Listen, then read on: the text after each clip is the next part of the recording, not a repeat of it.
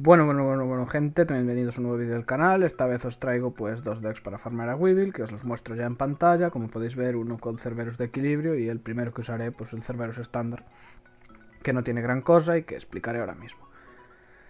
Eh, también tenemos un vídeo de Raptor que estará subiéndose ahora mismo y entre los dos pues tenéis en el de Raptor una cosa un poco distinta en el segundo deck. El primero es exactamente este deck, creo. Así que vamos a explicaros pues las cartas. Eh, como siempre, 20 cartas. A poder ser de brillo. Yo meto curación con Cerberus porque como siempre sabéis que los primeros turnos son cruciales, pues si no nos quita justo 1800, pues nos podemos curar ahí calculando más o menos el daño que nos suele hacer el rival conociendo sus cartas, que no... Realmente, si en el primer turno tenemos 5000 o más vida, por cierto la skill no es esta, pero es que estuve haciendo pruebas con otras cosas. Eh, la skill es robar sentido nivel bajo, que yo la tengo con Mako Tsunami, pero bueno, ya sabéis, robar sentido nivel bajo, robar sentido de luz, lanza conjuros. O robo el destino si estáis muy locos y os apetece. Eh, bueno, eso, 20 cartas de curar para los primeros turnos y tenemos pues básicamente Cerbero del cambia carta y Ririoku del cambia carta. Esto es lo, lo necesario. Luego, para la defensa, si es de Yugi, de Kaiba, o sea, de ex iniciales, podemos sustituirla por Ceal, por Impacto Meteoro de Hada, que son pues, cartas de equipo que conseguiremos en Valkyrie Rage o en Neo Impact, por ejemplo. Cualquier cosa con la que podamos hacer un último turno atacando los puntos o haciendo de daño por lo menos. Eh, y luego el resto, un par de cartas de equipo. Para que veáis, yo meto los libros, estoy metiendo lo más cutre para que veáis que con lo cutre funciona. Imaginaos que tengáis pues ya cosas fuertes. Eso ya al gusto. Y después yo meto cartas de curación, casi todo. Cartas que brillen, es importante que brillen porque dan un montón de puntos sobre el brillo. Y metí un par de daño porque ya no tenía de curación de las baratas. Lo más barato que tengáis, si tenéis caro también podéis usarlo caro. Pero es más importante casi que brillen que que tengan pues más stats. Porque realmente da igual, la poca curación que tenga os llega. Como veis, todo lo, casi todo el deck brilla porque es lo ideal. O sea que si tenéis, pues por ejemplo, tenéis un colgante negro brillante, pues mira, mejor que el libro. Yo, por ejemplo, tengo dos colgantes negros brillantes, pero estoy metiendo los libros para que veáis que con lo barato también sirve. Y que tenéis un win rate bastante alto. Es mejor la versión, la otra versión de Cerberus o otra versión diferente que os enseño en el otro vídeo. Pero esto también vale. Así que ya sabéis, brillo y lo que queráis meter por aquí realmente. Contra este sirve cualquier cosa. Otra opción sería ajustarnos los puntos de vida, pero eso os lo voy a enseñar en el segundo vídeo, que es un deck específico de Cerberus con el que podréis ajustar los puntos de vida a 100 y tiene un win rate altísimo, pero altísimo, altísimo, del más del 90 contra varios personajes y ajustándonos la vida y todo. Lo, lo veréis. Ahora nos vamos pues al gameplay, que bueno, no voy a no voy ni a hacer intentos porque ya lo he hecho, quiero decir, voy voy del tirón y yo me imagino que saldrá bien la cosa. Si no sale bien, pues pues habrá que cortar, pero en principio yo diría que saldrá bien porque tampoco tampoco hay muchas posibilidades, es realmente seguir un patrón y teniendo tantas cartas de curación es muy jodido. Lo peor que nos podría pasar, no llegar a los 10.000 de ataque, pero eso se puede sustituyendo una de las que sobran por reclamación mágica si la tenéis, va ideal. No lo hago por, porque eso, quiero hacer el más barato posible casi sin comprar nada de sobres. Bueno, no nos va a quitar 1800, lo tengo asumido. ¿Veis? 1600, es una putada. Eh, bueno, pues nada, básicamente. Al no habernos quitado 1800, nos curamos bastante. Suficiente para sobrevivir. Yo diría que estas dos de curación deberían llegar. Yo creo que sí. Y pasamos, y ya veréis. Como no... Bah, al final, mira, hasta sobró. No hubo problema. Puede pasar que saque dos de 1600 y vayamos un poco justo. Lo normal es eso, si no queréis arriesgar ya incluso sacar 3 y aunque sea... Pero es que lo que pasa es que hay casi sin mágicas para, para luego para Cerbero. ¿Veis? Por ejemplo, ahora voy a tener un pequeño problemilla, pero lo soluciono perfectamente con el gasto del Ryoko ahora. Es una putada y no nos dará, por eso a veces sí que hay que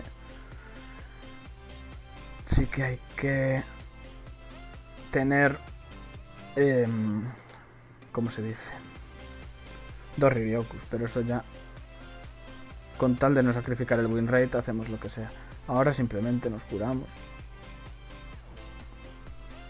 podéis eso, arriesgar más, quedaros con una de curación. Ya sabéis que el deck de Cerbero es lo que tiene, que si no nos hace el suficiente daño es una putada y dependemos mucho de eso, pero... Vamos a ver a cuánto ataque llegamos, que yo creo que igual... no, no vamos a llegar, ¿eh? Es que sin el, sin el Ryoku es una pérdida muy dura. Pero bueno, no nos quedaremos muy atrás tampoco, nos guardamos el para la defensa. Y eso, acordaos de que yo estoy trayendo el más barato posible. Si no... Si tenéis la opción de tener dos Riryokus, mucho mejor. Porque no os pasaría esto que me ha pasado. Que ya digo, pasa una vez de cada tantos duelos, pero como veis, situación controlada, perderemos un cofre como mucho y para que veáis, precisamente, este, voy este gameplay lo voy a dejar. Para que veáis, pues, cómo manejarse en situaciones de riesgo extremo y para que veáis que compensa eh, intentar arreglar la situación y encarrilarla aunque vayáis un poco jodidos porque al final pues serán 7 cofres en vez de 8 tampoco lo de los 10.000 de ataque está muy bien y pinta muy bonito sobre la mesa pero perder perdéis un cofre y de hecho con los 1000 puntos de bono igual llegamos a los 8 cofres no creo no creo ¿eh? pero bueno para que veáis que no que aquí no hay trampa ni cartón y, bueno, a los 10.000 no llegamos ni de coña, es una putada. Nos vamos a quedar muy cerca.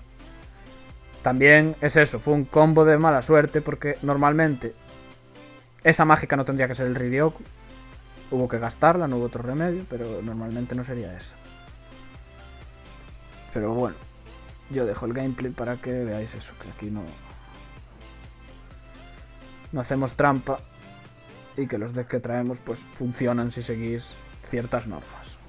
Ya digo, imaginaos, esto tiene el 90% de las veces sale bien de todo y las veces que salen mal ya veis, mal pues serán 7 cofres el mal, o sea, quiero decir, es un win rate alto igual gracias a las cartas de curación, que imaginaos ahora que hacéis un deck más estándar, ¿ah? la metéis pues de daño, metéis basura que no sirve para nada. Pues mira, este, este duelo directamente lo hubierais perdido. Con este os aseguráis un win rate alto. O esto de me hago un deck para haga 100 puntos de vida. En este duelo no os hubiera servido de nada. Yo intento traer decks con alto win rate porque compensa más. Sin embargo, el que os voy a enseñar de Cerberus triple, ese sí que ese sí que tiene un muy alto win rate, bastante más que esto, y lo de quedarse a 100 puntos de vida es trivial completamente, lo vais a ver en el segundo gameplay. Con un pelín de suerte, dependiendo de lo que sea. No, es que 500 de defensa no va a tener, pero fijaos que estuvimos muy cerca, ¿eh? Esto con el, esto con el que no pasaba. Pero bueno, es así la cosa. Bueno, último turno, una putada. Ya veréis que eso, nos quedamos muy cerca. Y dejo el gameplay para que veáis eso, que no hay trampa por aquí. Y fijaos que la vida al final fue sobrada, tal. Atacamos pues a este. Bueno, pues nada, pues por mil puntillos, que en realidad son dos mágicas, con Riryoku hubiera dado. Fijaos ahora que aún así la puntuación altísima. Y bueno, ya sabéis sabéis cómo va y eh, con esto también os expliqué cómo libraros pues de eso, de, darle la vuelta al duelo. Ya veréis que al final pues tampoco es tan grave porque eso, ¿veis? Hemos perdido un cofre. Pues mira, en una situación que no se da casi nunca, un tutorial de cómo salvar cómo salvar los muebles. Bueno, otra de estas ya para mi colección ahí. Y nada más. Ahora os enseño el de guay con el que tenéis un win rate de la leche y os va a encantar. Así que hasta aquí esta parte del vídeo. Pasamos al deck guay. Bueno, aquí veis el segundo deck que voy a usar contra Weevil y que, bueno, que es un pelín caro, tampoco es una exageración. Y sirve para todos los duelistas menos Ishizu. Bandit Kid y Kaiba. Esos tres tienen que ir aparte con sus decks específicos. Sirve para el resto con sus pequeñas modificaciones. Traeré un vídeo aparte sobre este deck concretamente con las modificaciones para cada duelista para que lo veáis. Y aprovecharé ya el gameplay de Weevil para que veáis cómo funciona.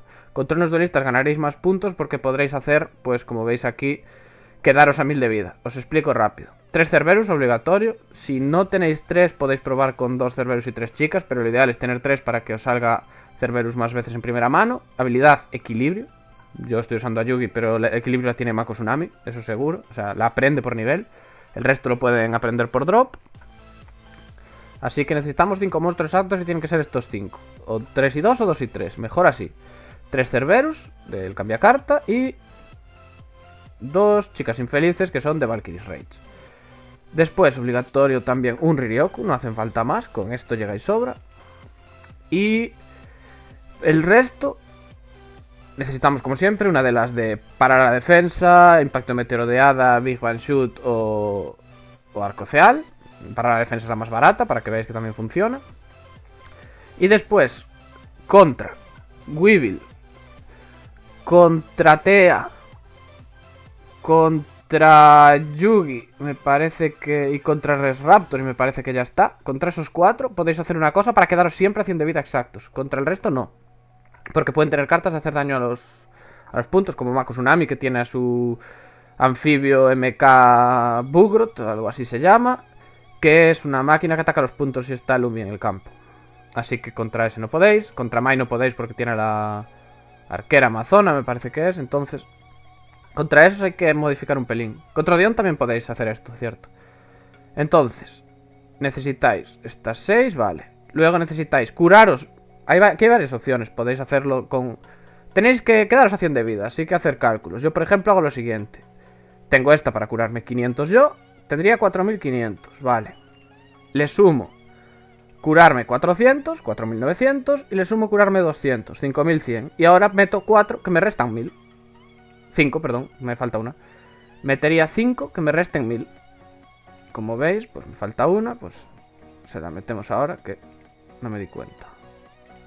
Vale, pues así. 5 que me resten 1000. 5000 menos de vida y nos quedaríamos a 100 exactos. Contra esta gente no es peligroso porque no tienen nada. Hay que hacerlo al final del duelo. Y eh, ¿qué más nos falta por aquí? Para rellenar. Nos sirve pues si ponen algún tipo de mágica. Así que podemos destruírsela como cartas de equipo así.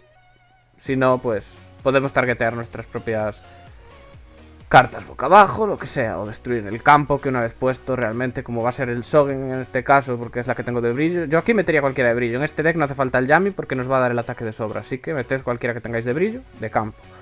Dos cartas de equipo como siempre, yo meto los libros para que veáis que se puede hacer con lo más barato, pero podéis meter dos cartas de equipo las que queráis, incluso con una podría daros. Y ya está, si os sobra algún hueco en el deck, pues podréis meter cartas de curación. Esto vale, repito, este concretamente vale para Odion, Weevil, Rex y Yugi. Voy a probarlo ya contra Weevil porque este es el vídeo. Cuando suba un vídeo específico con este deck, os diré, tendré este para esos cuatro. Y luego tendremos el modificado de Tea, el modificado de Yogi, el modificado de Mai y el modificado de Mako Tsunami. Os enseñaré en ese vídeo, ya veréis cómo se pueden vencer a los 8 muy fácil con este deck. Y este sí que tiene un win rate altísimo. Contra Mai yo tras pruebas he optado por una modificación y solo me gusta esa. Cada uno puede arriesgar un poco el win rate, pero con la que os voy a enseñar tiene un win rate muy alto. Que aparte en el canal la tengo y creo que la del canal está un poco anticuada, así que os enseñaré la nueva modificación. Pero eso será en otro vídeo. Aquí vamos a pasar al gameplay contra Weevil, que ya aprovecharé para el gameplay de, del de este mazo cuando lo suba en el vídeo aparte. Vamos allá. Vamos para allí. Eh, como este mazo confío en el 100%, vamos a tirar directos sin trampa ni cartón porque este mazo es muy, muy viable. Así que nos metemos en materia. ¿Dónde está? Weevil, Weevil, Weevil. Vente para aquí. Weevil. Bueno, pues vamos. Ya veréis. Básicamente consiste, si sacáis a la chica infeliz, nada, esperáis unos turnos. Nunca uséis las de quitaros daño hasta que no tengáis a Cerberus en el campo, porque ahí sí que os puede ganar. La idea es, mientras si sacáis a la chica, usad solo las de curaros si necesitáis usarlas, que en principio nunca os va a atacar, así que si sacáis a Cerberus como es el caso, pues podéis empezar a saco. Vale, pues nada, nos saca eso, nos da igual realmente lo que nos saque, no tiene gran cosa que hacer. Ya una vez que sacamos, si sacamos a Cerberus en primera mano, es como es como victoria instantánea, mirad. Eh, le metemos el libro. Que ya se pone en 2100 prácticamente ya. Perdón, 2200. Le añadimos el hieroglifo. Y nos plantamos en 3000 y pasamos turno. Como veis, no tiene gran cosa. Sacrifica, bueno, es relevante. Vale, eh, el curry va a hacer falta curarse porque hay que, eso, hay que plantarse. Acordaos, hay que plantarse en 5100 y luego restarse pues 5000. En este caso ahora me plantaré en 4100 y me restaré 4000 porque ya me he restado 1000. Lo, va a estar invocando todo el rato. Bueno, ya que ha colocado una carta boca abajo, aprovechamos el exorcismo. Simplemente para ganar los, los puntos de, de daño para Cerbero. Nos va a sobrar. Vale. Y usamos esto para curarnos otros 500. Y bueno, le quitamos a Weevil 500, pero eso es irrelevante. Simplemente lo que nos importa es curarnos nosotros los 500. Y a partir de aquí, como ya tiene suficiente ataque, ya antes llegaba, eh, hay que guardarse el resto de mágicas para cuando saquemos al segundo Cerbero. Simplemente vamos acumulando en la mano. Y ya está, no tiene más. Y ya veréis como no hay problema. Exorcismo. Yo siempre hago un margen de seguridad alto, no vaya a pasar nada, por eso me pongo en 4000, pero realmente con ponerte un poco por encima llega. Mientras no saquemos el segundo cerbero, seguimos acumulando. La chica, vale.